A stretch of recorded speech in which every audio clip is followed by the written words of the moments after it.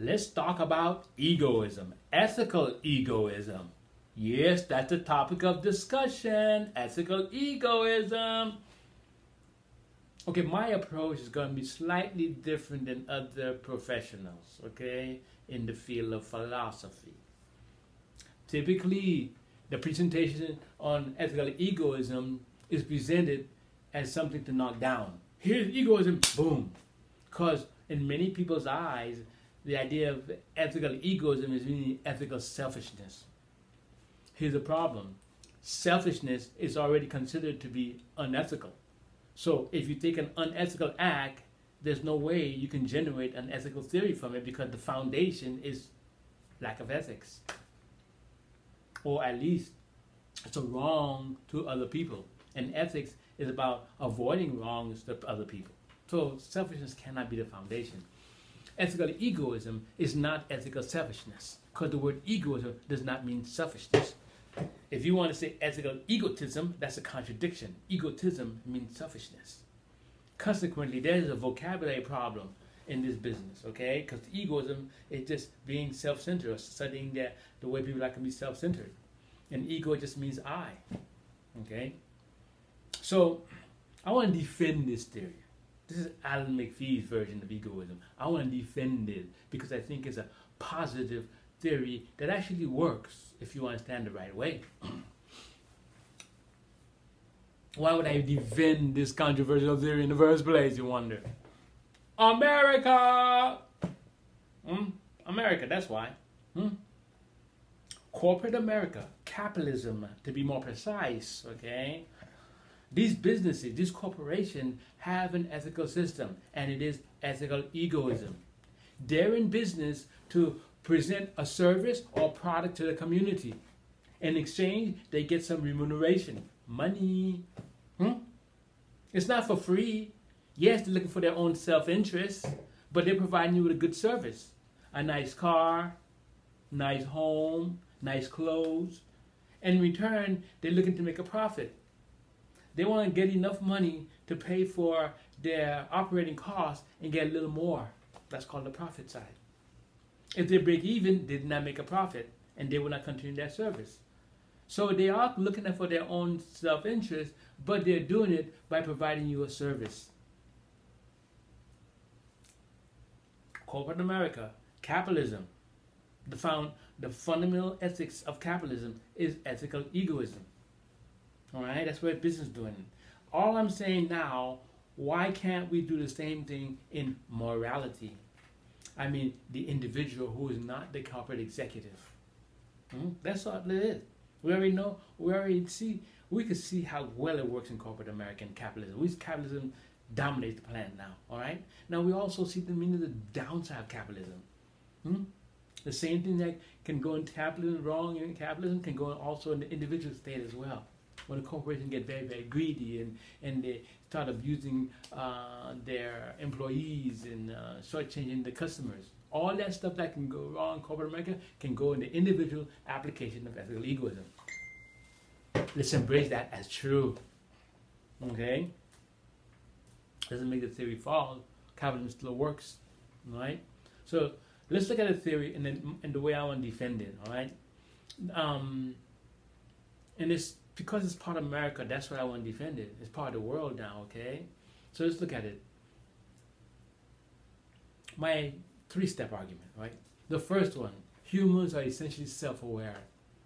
I want to defend capitalism by recognizing that I am a conscious being. And just because I am conscious and I'm aware of myself and I'm aware of myself in action doesn't mean I'm, uh, I'm being selfish, I'm evil, I'm bad or anyway. I'm aware of myself and while in action, sometimes I can take advantage of people, and sometimes I can observe people taking advantage of me and say nothing. Okay? Being constantly aware of yourself, this should not make you a bad person. Most people who argue against egoism, they go right there. If you're aware of yourself that something is wrong, you cut yourself. Oh, oh, it's bleeding. Let me clean the wound. Let me patch it up. Oh, you're being selfish. That's irrational, my friend to penalize me for being a conscious being, taking care of myself. That's just so irrational. That's wrong. So, step number one, principle or premise number one, we're being, We're essentially self-aware. We're conscious being, and that is nothing. That's not good or bad. Um, principle number two. If I want to generate general theory of morality, I want to begin with common sense. Say to me, right? I pretend I don't know what the word means, and I listen to what people are saying. And what people tell me is that being moral in the world benefits people. People like other people being ethical and moral because it's beneficial to them, their friends, their family.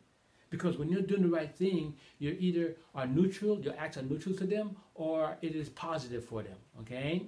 So that idea of ethics benefiting people is a big, big aspect of ethics.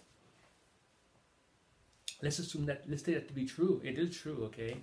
Well, one approach to ethical egoism to say this if morality is beneficial to people, okay, shouldn't it also be beneficial to me? So as an, an egoist, I can say, I'll be I'll engage in those acts if it's beneficial to, to me. All right? Because if ethics is beneficial to people, shouldn't it be beneficial to everyone involved, including the moral agent? The answer has to be yes. If it is not, you will not have morality anywhere. So in every other theory of morality, the agent must be getting some kind of benefit, even if he or she is not focusing on that. That's guaranteed. This is an analysis. It's inescapable truth. So, premise number two. it's inescapable. Right? So premise number two then say you can act in such a way as to uh, look for the benefit for yourself while trying to benefit other people now. Okay? You're not just like doing it in isolation for yourself alone. now I would like to jump. Those two to me is the is the two principle. With that, I like to present my moral principle. That's all I need. P1, humans are essentially self-aware. I'm a conscious being. That's not good or bad. It's just what, how I am. Principle number two, um, morality benefits people. That's I get from society. It's beneficial to people. Therefore, it should benefit a moral agent. Okay. From that, I can derive a moral principle. This is Allen's version, but let's see what it says. Okay, the moral principle will be this. An act, in my version as egoism, an act which may be regarded as morally right if it promotes an agent's genuine self-interest. I'm about to act as an ethical egoist, and I'm going to treat that act as right if it promotes my genuine self-interest. First of all, the word promote means it's not one for one. I just believe something good for me, so therefore I'm going to do it. I'm going to do that. Okay? Um, let's say something positive. Um, friendship. How about stealing a bike? No, no stealing, no stealing, no stealing today. We're gonna be good. How about respecting someone's property? All right. My friend Tim has left his bike in a place where uh, somebody could steal it. I come upon it. Okay. He's my friend. Okay. So I believe it's in my genuine self friendship, my genuine self interest to maintain that friendship over time. Right. So I engage in activity that promote that friendship. In this case, I will take the bike and bring it to his place or inform that the bike is outside and be there. Um, I support him um, when he's in need, when he needs somebody to listen to him. I'm there for him. So I engage in activity that support him. The word promotion not tit for tat, or else doesn't work. It's an inductive argument, okay? Because you're looking at experiences. This theory is a consequential theory, right? Um, can't guarantee the future. Maybe Tim is the one who's going to be a bad friend. The second thing is um, an act is more right if it promotes a genuine self-interest. Genuine self-interest. What does that mean? Genuine. First of all, it does. It means long-term interest, not in the immediate scenario. The long-term interest. Okay, like I come across Tim's bike. You know what I mean? I could steal his bike. He wouldn't even know I took it. Right? But is it my is it promote my genuine self-interest? Well, there's a lot of people in prison. A lot of friendships have been broken up because people stole from other people. Okay? And they thought they would get away with it. You're not promoting the friendship if you're stealing from your friend. Whether you get caught or not is irrelevant. The logic says you're not promoting it. Okay? And if you look at that right, all the common sense moral, moral values that we support is supported by this. Cheating your friends, lying to them or about them, and any any behavior that ruin a relation that you have or could ruin a relationship is not promoting that relation. So this little claim here defends all ordinary situations, know, basic moral values. Right? Genuine also means what's really in your gen beyond just long term, but metaphysically. We have to go to the metaphysical level as well. Um, that is, the theory is going to be limited by your understanding of reality. I may really think Tim is a good friend, and I'm going to do what I can to maintain that friendship. But metaphysically, he's a bad person. He's a con artist. I may not know that. Okay? So there's a limitation of principle I'm presenting because we may not know what's not deep metaphysical um, best self-interest.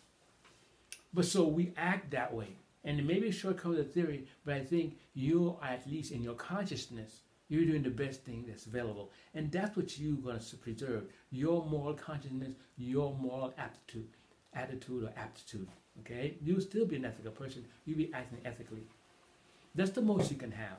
And as your understanding of the reality and the metaphysics behind the situation grows, so will your your decision mod be modified. Okay? That may be seen as a limit, but I accept it as a, as a practical limit because this is an inductive argument. It's a consequential theory. It's based on experience. And since you can't see what's going to happen in the future directly with good predictions, you have to accept it's a possibility. We might argue against me that this gives you moral beliefs about the world. Well, it's a good belief. You act this way, and it gives you a good way to live your life. All right? the last thing I want to mention here on this principle is the idea of self interest. When we say self interest, it's what you think is good for you. Hmm? It's what you think is good for you. It's like going back to the word of genuineness metaphysics. It's, a, it's an idea of your head. Okay? It's a mind. It's an ego idea. Okay? It's what I think is good for me. So it is ego driven, self interest. I think it's good for me to have that friendship. I maintain it. I think it's good for me to work in that corporation. So I do all acts that promote my continuity in that corporation that promotes my getting promoted in that corporation. Okay, I do not engage in embezzlement, um, coming to work late all the time, uh, stealing property from the company, because I want to engage those acts that promote my interests. In this case, my continuity in that company. Okay, this is the general principle that I put forth for ethical egoism. um, an ethical egoist, you know, I can say does not really indulge indulge in selfishness because it's not in his or her genuine self-interest. However, they're also not altruist. They may act altruistic, but they're not altruist as in terms of character because they go against what they are. Okay, you're an ethical egoist. You're gonna form the character trait of being an egoist. Okay, so eventually that's who you're gonna be. You're gonna be an egoist. You can act altruistic, and ethical egoist is not going to be selfless. That's gonna be like self-destruction. Okay? No. That's not possible for an ethical egoist to do go that far. But in particular situations, no. Only time an ethical ego will sacrifice him or herself is because that sacrifice leads to their greater interests. Like a soldier is a great ethical egoist person. They sacrifice their life for the greater the greater good of their society. Okay? So it is not like an ethical egoist cannot sacrifice his or her life if the interest is above them. Like if I'm I'm supporting my society, my country, okay, then it's above me. Then I can sacrifice my life in that interest. Okay? So if you formulate right, you can have great sacrifice and ethical ego as well. Right? Um, ethical egoism the biggest challenge to this theory is selfishness.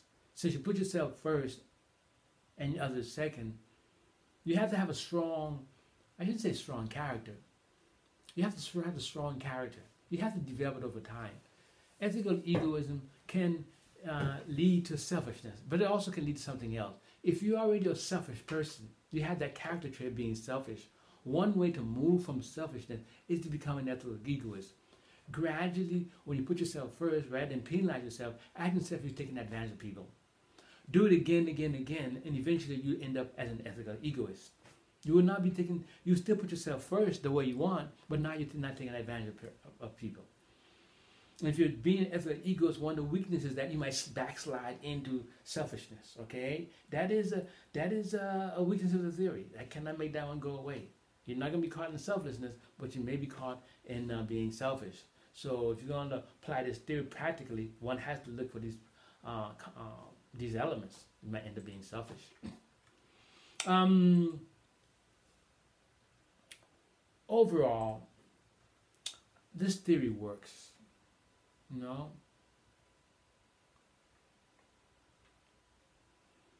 It's a, it's, a, it's a theory that works. It's very practical.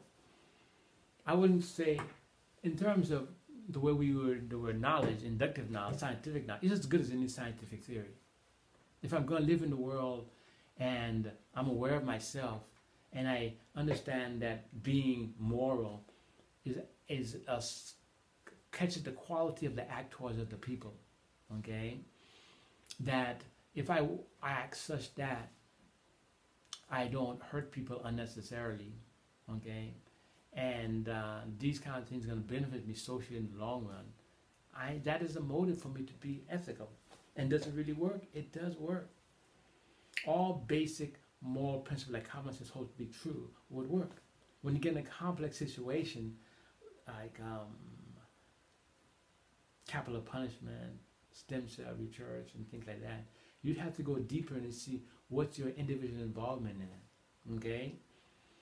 Um, I defend this theory before, like I mentioned, because um, the psychology of many people in America is that we are egoists because we're influenced by the business model, right? And there's nothing wrong with that. An egoist is someone who's highly motivated for success, and they're not gonna uh, accept any excuse from themselves. Okay, they're gonna look at every hurdle or any obstacle as a hurdle they have to get over until they're successful. We promote egoism. We promote the highly motivated personality in America. Never mind your background, your family background, never mind your race, never mind your sex, your gender orientation. If you want something, you apply yourself, you can acquire it. This is the land where things happen happen because of your individual effort. This is the promotion of egoism. When we're promoting egoism, we're not saying be selfish. We're not saying forget the other people around you. Okay? Bring them along. And that is the upward moving egoist someone who bring other people along. And for that reason, I really see the need to defend the positive version of ethical egoism because it is a positive aspect of who we are today.